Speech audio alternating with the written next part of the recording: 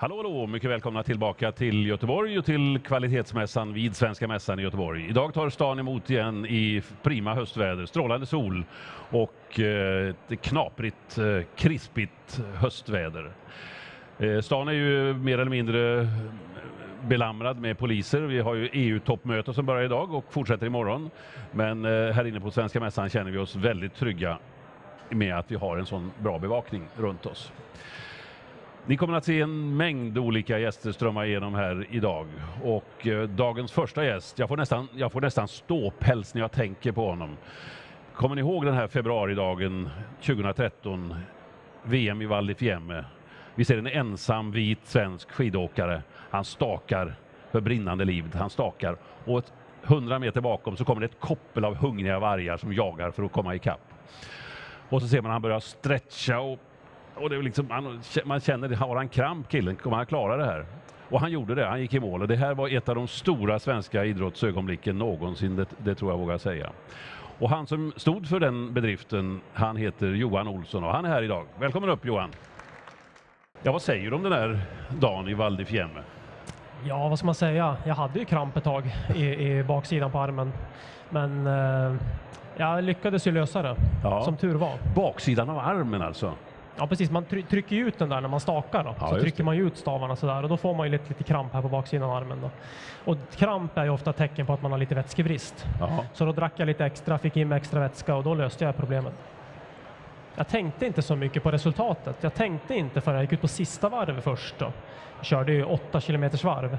Så när jag gick ut med 8 km kvar, då först tänkte jag att nu kan jag vinna det här. Ja. Och jag ska bara ta varje backe en gång till och det borde jag faktiskt kunna klara och hålla undan, annars så får de, annars får de bära mig hem om jag inte klarar det här. Men du vet ju samtidigt också att i 99 fall av 100 så funkar inte det, det går inte. De, kommer, de här hungriga vargarna kommer ikapp. Ja, det är klart att jag var ju medveten om det under loppets gång. Men jag försökte egentligen mestadels bara vara vara här och nu, vara i nuet och ta steg för steg, backe för backe och bara, bara jobba mig fram. Och det var ju mycket det som jag hade byggt upp under lång tid i träningen, att vara mera här och nu och inte blicka så långt framåt. Hade jag försökt att tänka så att ja, men jag har två och en halv mil kvar och jag är på egen hand så hade jag aldrig klarat det utan jag bröt ner allting i små, små detaljer och, och, och på det sättet så, så lyckades jag på något sätt överträffa min egen förmåga också. För du, är, du tänker klart där alltså, du sätter upp eh, mål som är realistiska så att du inte ska krokna. Men hur kan man vara så logisk i en eh, sån här stressad situation? Alltså det handlar ju om förberedelse. Uteslutande förberedelse. Det går ju inte att bara trolla fram en så, ett sånt där tankemönster under ett lopp, utan det handlar ju om att, att jag faktiskt under lång tid hade haft en del motgångar också. Tagit eh, tagit silver till exempel som i Vancouver några år innan då, OS i Vancouver så var jag också i en utbrytning, var själv. Då väntade jag på slutet och, och lät de andra komma ikapp men jag lyckades ändå spurta till med ett brons. Jag var faktiskt ganska besviken efter det loppet för att jag kände att varför skulle jag ha väntat in dem egentligen? För ja. Den här gången i Val så kände jag att den här gången ska jag inte vänta in dem utan då antingen så vinner jag det här eller så, så, så ja, får de bära mig hem. Ja. Men du, för du har ju, man har ju, hela din karriär har ju kännetecknats av det. Man, ska han klara det? Ska han orka? Är han sjuk och är han i form och så här? Eh, har, det, har, det, varit ett spel för oss tittare eller är det, är det, har det varit så hela tiden? Nej, nej, det har absolut inte varit ett spel. Det har varit eh, dagens sanning har det varit. Eh, jag skulle säga att mycket det som jag har jag har jobbat mycket med, med mental träning och, och därigenom har jag också liksom skapat grund för att kunna komma tillbaka de här gångerna det har varit tufft. Alltså att jag jobbar mycket med mig själv, jobbar mycket med Johan. Så att säga att, att jag och har, Johan är? Och Johan är jag. Ja. Eh, sen har jag jobbat med Stig, hade... så att säga. Utom att jag jobbar mycket med min egen liksom, personliga bild, då, vilket har gjort att jag kommit tillbaka lättare ja. när det har varit svårt. Och eh, samtidigt så, så har jag också haft en otrolig förmåga att kunna liksom verkligen gå in i den här grottan och fokusera under kort tid och vara otroligt närvarande och fokuserad under ett VM till exempel, två veckor, det passade mig väldigt bra, mästerskapen, att jag kunde underkasta mig den här träningen och förberedelserna under kanske två månaders tid och sen bli så bra som möjligt. Min högsta nivå var väldigt, väldigt hög, men samtidigt min, min stabila nivå var var något mer instabil så att säga och lite lägre kanske, men jag hade en väldigt höjd i min högsta nivå. Och är, det sitter här om man ska nå den högsta nivån menar du eller? Ja, för mig så, så handlar det mycket om huvudet. Att jag just, jag hade problem kanske under ett helt år att underkasta mig den här liksom extrema som jag gjorde två månader, till exempel inför VM i Falun då jag också blev världsmästare 2015.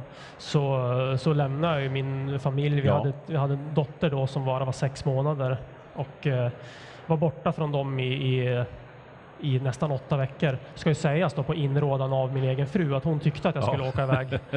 Eh, Det var min nästa fråga nämligen, vad sa frun? ja, det var hon som sa nu, nu sticker du härifrån.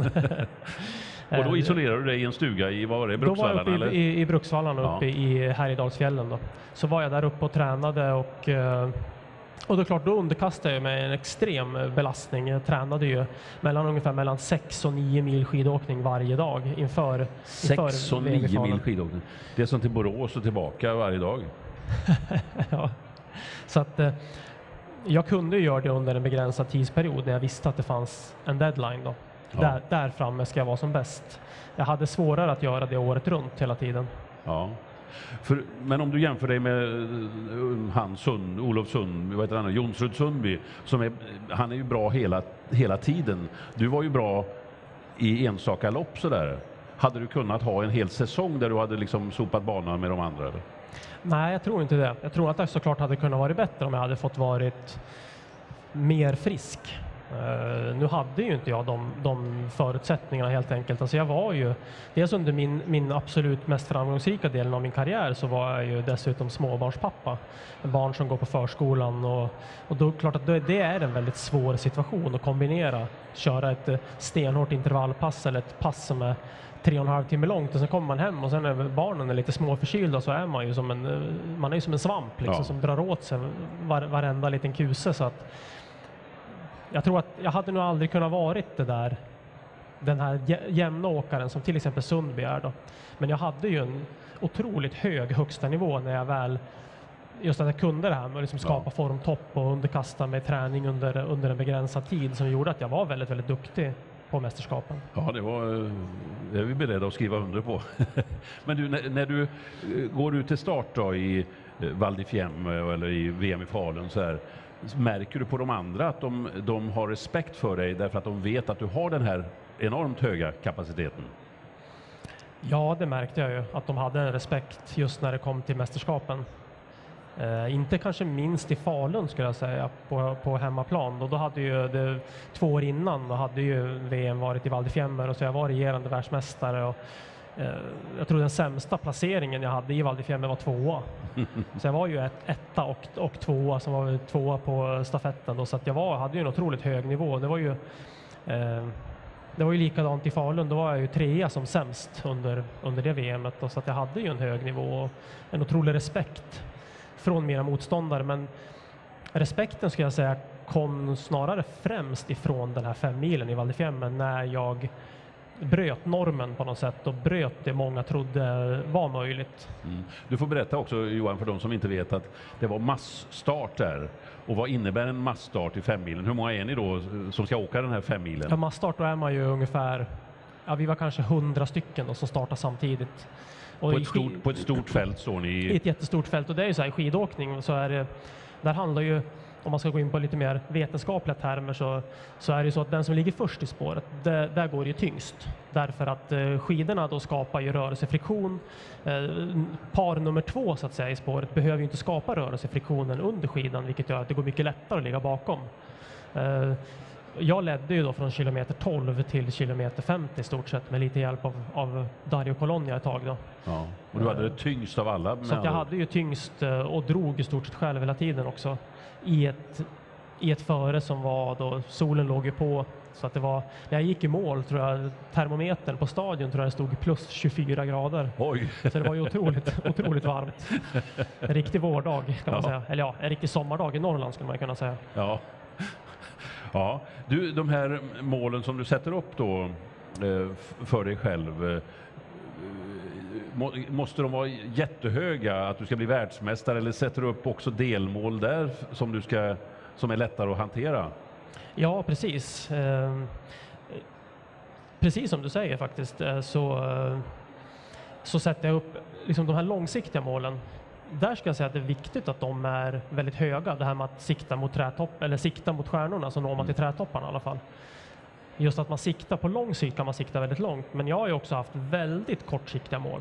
Till och med så kortsiktiga mål som två minuter långa. Då jag har varit i, i träningssituationer och liksom tränat på saker på ett träningspass. Att två minuter framöver ska jag klara av att göra det här. Och det är ju ett kortsiktigt mål. Men där är det också, de här kortsiktiga målen är det viktigt att de är väldigt relevanta till vad man klarar av så att man hela tiden, eller i alla fall sju gånger av tio, klarar av dem. Mm. För blir det tvärtom då, att man skulle klara av dem två gånger av tio så, så, så, bromsas man istället i sin utveckling för att man inte klarar av dem.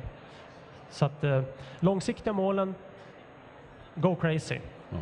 Kortsiktiga mål, var noggrann med att sätta att de, de här blir rätt. Men om, du, om du inte når de här kortsiktiga målen och det här två minuter eller en dag framåt, vad ja, gör du då? Då får man redigera målen helt enkelt. Ja. Då får man sätta ribban lite lägre så man klarar av dem. Ja. Men blir, man, blir du fan också, det gick inte. Blir du liksom sur och grinig på dig själv då? Dålig, på dåligt humör? Ja, men då, då utvärderar man. Vad ja. gjorde jag bra? Vad kan jag göra bättre? Hur ska jag göra det bättre till nästa gång?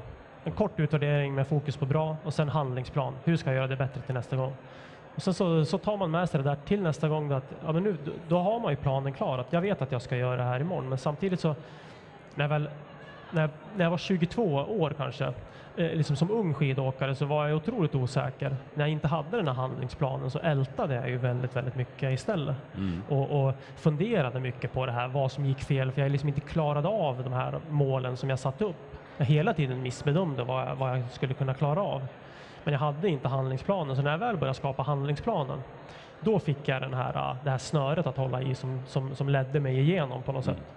Du, vi som sitter här då, vi är vanliga dödliga människor, jobbar i stat och kommun och förvaltning och jag sitter i TV. Vad, vad kan vi göra? Kan man ha sådana där mål i det vardagliga livet också? Definitivt. Det är såklart att man kan ha kortsiktiga mål. Jag, jag försöker ha kortsiktiga mål eller, eller ha det man kallar för målbilder målbilder låter ju som lite sådär eh, humbug nästan på något ja. sätt. Ja, vad är en målbild? Ja, det är att han skapar en bild av sig själv helt enkelt i en situation för sin inre syn. Att man då skapar en bild. Jag, jag, jag skapar bilder av när jag ska på ett eh, viktigt möte med, med en eh, viktig samarbetspartner eller om jag ska åka hem till mina föräldrar och äta middag en söndag så skapar jag liksom en bild av att hur vill jag att Johan ska vara när jag, när jag gör den här, den här aktiviteten. Och då har jag ett kortsiktigt mål och jag har en målbild att jag vet att så här, så här ska jag leverera på något mm. sätt. Ja. Och när man, när man har mått, nått sina mål, för du, tycker du att du på idrottsarenan, tycker du har nått de målen du satte upp? Ja, det gjorde jag. Det, det, tycker jag. Jag tycker att jag nådde de, de målen och, och faktiskt nästan till om jag skulle se vad jag trodde som 23-24-åring vad jag trodde att min karriär skulle bli och jag började inse hur svårt det faktiskt var att, att nå toppen och hur långt jag nådde till slut så ska jag säga att jag nådde längre, jag överträffade mina mål. Ja, du har två OS-guld och två VM-guld. Ja. Och så har du väl... Eh, ja, 14, 14 medaljer från OS och VM. Det är inte dåligt. Jag tycker vi ger honom en applåd för det. Nu har inte jag kollat statistiken, men är du vår främste skidolympier genom tiderna? Eller? Nej, på den manliga sidan så tror jag att det är eh, Sixten Jernberg och Gunde Svan som är bättre. Ja. Sen har vi Charlotte Kalla också som har, tror jag har tagit lika många som Gunde faktiskt. Okay. Men sen OS-medaljer har jag ju ganska många. Jag har ju sex stycken OS-medaljer och det är ju inte så många som har tagit så pass många. Nej, jag är ju så gammal så jag, jag har ju sett Sixten Jernberg tävla. Aha. Och eh, han var eh, hemma i Värmland och, och körde någon eh, tävling och, i skogarna där och så var det Janne Stefansson som var hans konkurrent. Han råkade vinna den här gången och då var, kan jag säga, Sixten Jernbergs ögon var inte glada den dagen. Han bara skickade in skidorna i sin Volvo Amazon och så körde han iväg till, upp till eh, Dalarna. blir du också så där grisk när det inte går bra? Eh, ja, det är klart att jag blir det. Jag har nog jag har nog lärt mig mycket under åren att, att, att kontrollera ilskan. Vilket på något sätt har varit viktigt för mig, även om det är klart att det är, man, man blir besviken, man lägger ner hela sitt själ och hjärta i någonting Alltså, att vara elitidrottare är ju mer än ett jobb. Det är ju en livsstil. Man, Mm. man, verkligen, man verkligen offrar ju väldigt, väldigt mycket saker för att, eh, för att man ska bli duktig på det. Så det är klart att det blir en, en stor besvikelse om man inte om man inte lyckas eller snarare om man misslyckas. Mm. Men det, han, det handlar mycket om, tycker jag också, att kunna lägga besvikelsen bakom sig. Ja, och så har du en sån som Northug då som eh, är en eh, pajas och som eh, älskar att häckla svenskarna. När det gick dåligt för svenskarna var han där och hackade på er. Påverkas man mentalt av att ha en, en sån stor idrottsman som är, kunde vara så tyken som man säger här i Göteborg? Jag tror att det är olika från person till person. Just i, för mig personligen så var ju Petter var ju aldrig eh, konfronterade mig aldrig. Han sa ju aldrig ett, ett ont ord. Det var ju snarare så att han tvärtom. Han hyllade mig och sen så, och sen så snackade han ner de andra.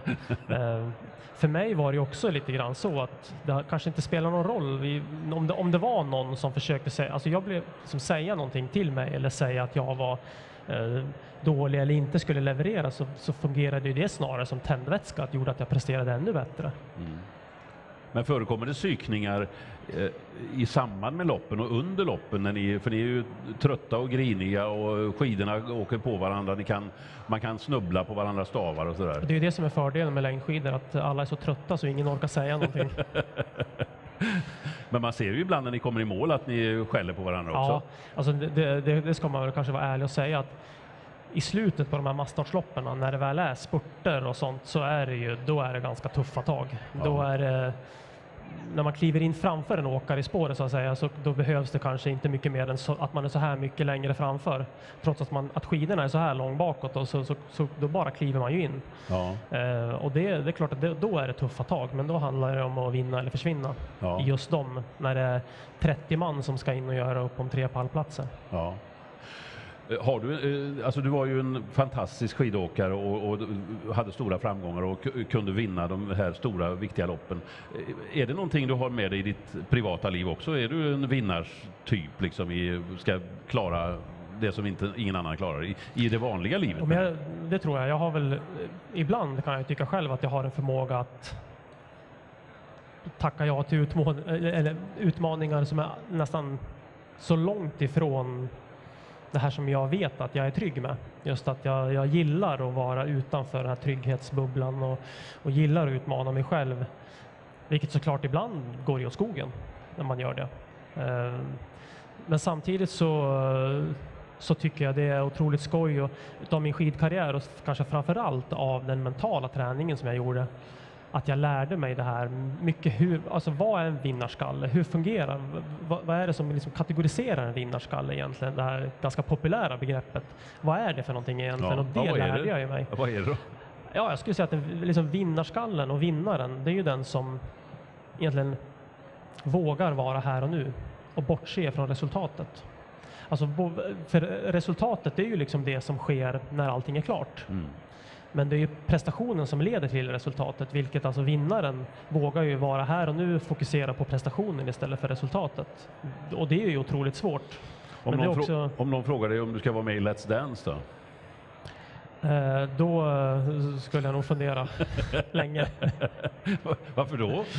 Ja, jag vet inte. Eh, Just det här fotarbetet. eh, i längdskidor är väl kanske inte fotarbetet det absolut mest avgörande för att man ska vara duktig, utan snarare hur, hur, eh, hur, stora, hjärt, hur stora lungor och hur stort hjärta man har. Ja ja, fast du ska ju koordinera eh, två stavar och två träpåkar på benen. Ja, precis. Och om Lasse de- Brandeby, han dansade de- ju Let's Dance utan och han satt ju på en stol och dansade så det det är ju många olika sätt. Ja, det är klart. De kanske får införa något år att alla måste dansa med skidor och stavar. Då kanske jag kan vara med. Ja. Ja. Men du, när man har nått sina mål då Johan, vad gör man då? Då, då lägger man sig tillbaka i gungstolen och rullar tummarna? Absolut inte. Eh, jag tror att det, för mig så jag mår ju bra av att jobba med utmaningar och ha mål och fortsätta göra saker.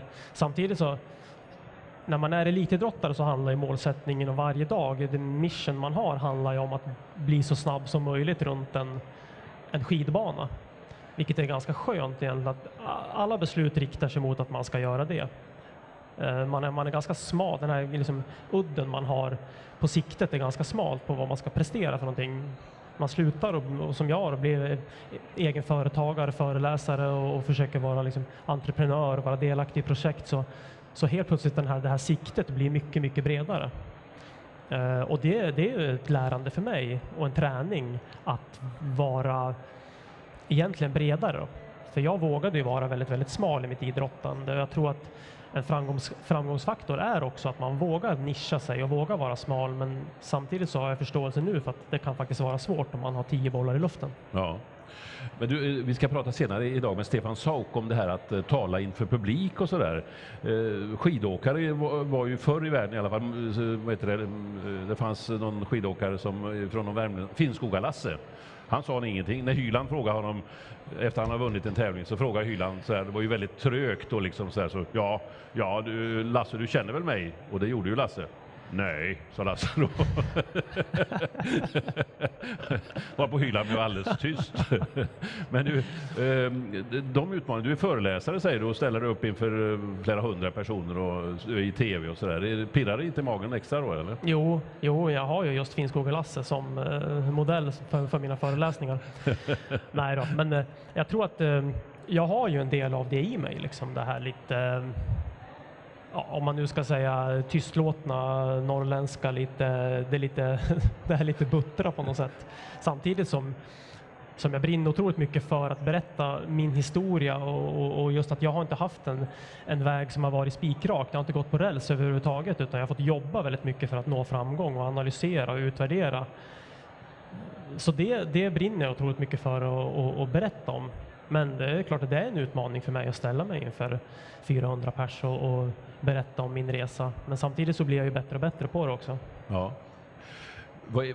Har du liksom, man kan ju ha saker som man är skraj inför. Finns det någonting som du, nej det där vågar jag inte göra. Det vågar jag inte hoppa på. Eh, Ja, det, det, det, det, enda jag skulle säga det är höjder. Alltså. ja.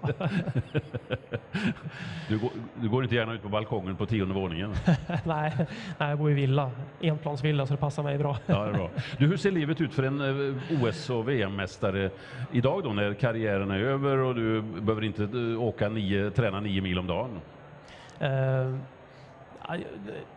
kanske den största orsaken till att jag slutade, det var ju att jag fick ta otroligt mycket beslut och vara borta mycket från mina barn, vilket var en sorg för mig. Att jag kände att är det här liksom, man, kommer, man når en punkt, är det här verkligen värt det? Att jag är borta så mycket och måste ta de här besluten. Att till och med en snorig liten treåring gör att pappa måste åka hemifrån i, i en och en halv vecka för att träna. Det var, till slut så kändes det som att de här besluten var liksom orimliga att ta.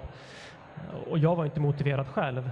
Så eh, det här året har jag faktiskt liksom verkligen riktat in mig på också att försöka att jobba så mycket som möjligt hemifrån och kunna jobba med kanske Sundsvall, Stockholm som ligger ganska nära varandra. Träna i en rimlig nivå och, eh, och vara mycket, mycket mer närvarande med mina barn. Mm. Vad säger du till dina barn då, om de vill bli skidåkare? Eller idrottsmän av uh, vilken, vilken sort det än må vara? Um, jag skulle säga att eh, jag, jag försöker ha ett ledord vad det gäller mina barn och deras eh, karriärer och så. Det är att jag försöker vara eh, aktivt passiv. Om någon nu förstår vad det betyder. Men att jag försöker att vara liksom aktiv i att stötta och, och på ett sätt kan jag tycka att ja, men, att vara curlingförälder kan visst mått vara okej, okay, att man skapar för, liksom, med att skapa förutsättningar, skapa förutsättningar för mina barn. Liksom, vad vill ni göra? Men jag är passiv i, ni får ta beslut. Mm. Ni får göra vad ni vill, även om de är tre och sex år gamla så, så, så får de faktiskt vara delaktiga och ta beslut. Ja. Vad vill du göra? Ja, men nu, nu är äldsta dottern, hon, hon går på dans och så, så tränar hon faktiskt skidåkning också ja. en kväll i veckan. Då, så att, eh, men tror du att det är tufft att stå i skuggan? För de kommer ju aldrig eh, att kunna mäta sig med dig i framgång om de blir skidåkare. Ja, kanske. Kanske, ja, men kanske det, är bättre. Chansen är ju väldigt liten om man ska vara riktigt ärlig. Ja, det är klart att jag tror att visst är det en tuff situation att, att de har både en mamma och, pappa som är olympiska guldmedaljörer. För min mm. fru ja, eh, vann ju då sprintstafett-guld i OS i Turin 2006. Du får berätta din frus namn också. Eh, Anna Dahlberg heter ja, hon. Anna, Anna ja. Olsson heter hon nu. Så Anna Dahlberg och Lina Andersson vann ju guld i Turin 2006 då, i sprintstafett. Så det är klart att om man säger just i skidåkningen att där är det, det här arvet, att där är det ju kanske ännu viktigare att man är passiv och tillbakadragen och inte liksom frontar sina barn så mycket med att här är, här är, här är vi liksom, utan eh, men Är också, de, är de vikten med? av, Ja. också vikten av att, av att ge dem en, en grund att de är liksom sin egen person också. Att de inte, och där har jag mycket erfarenhet också, just det här relation till prestation, förväntningar. Mm. Eh, Jag har ju fått, liksom, om man säger stå ut, jag har ju tyckt om förväntningarna men lärt mig att hantera dem och vridit på förväntningarna till att gilla dem istället för att låta dem tynga mig. Mm. Är dina barn medvetna om vilka föräldrar de har? Ja, verkligen. Speciellt äldsta dottern. Hon är ju definitivt, hon har ju liksom varit med hela resan. Hon har ju varit, varit med både i Val di Fiemme och i, i Falun och tittat på, på eh, mi, mina liksom världsmästarlopp. Då, så att, eh, hon är ju definitivt medveten om det och ibland kanske kanske väl uttalat medveten om det när man är på lekparken och, och jag kommer tillbaka från träningen och här kommer pappa, titta han är världsmästare i längdskidor kan hon ropa. Så håll en låg profil nu. Ja, det är bra. Min pappa är polis brukade man ju säga när jag var liten. Ja. det tyckte vi var häftigt. Johan, det var väldigt trevligt att ha dig här. Eh, Du åker runt och föreläser, och, eh, men du, du springer. Du har ju en kropp som är som en atlet fortfarande. Ja, jag eh, gör ju en svensk klassiker Ja, just nu. Så Ja, jag, har, just va- det. jag har Vasaloppet kvar. Jag sprang i Lidingöloppet här för en månad sedan. ja det gick ju jättebra. Ja, det gick jättebra. En 48.59 sprang jag Lidingöloppet på. Ja, till Så och med det- du var ju nöjd. Till och med jag var nöjd. det var, du, du nådde över dina förväntningar där Ja, alltså. precis. Ja. Eh, Jag hade en 55 som mål och så sprang jag på en, en 48. Man, sä- Jag har ju lärt mig det där, man säger ju en 48. Även fast det är en 48.59 så säger man ju en Ja. 48. Ja, det är bra. Men Vasaloppet har du aldrig åkt alltså? Vasaloppet har jag aldrig åkt och det är såklart tanken att jag ska åka det Ja. nu i, i vår. Jag hoppas att, eh, att jag får en, får en vinter där jag Ja. kan liksom få träna lite lagom och, och, och njuta av vintern på ett annat sätt än vad jag har kunnat Men göra förut. Kommer du då att få stå i första ledet där eller kommer du hamna i tolfte gruppen? Ja, vi får se.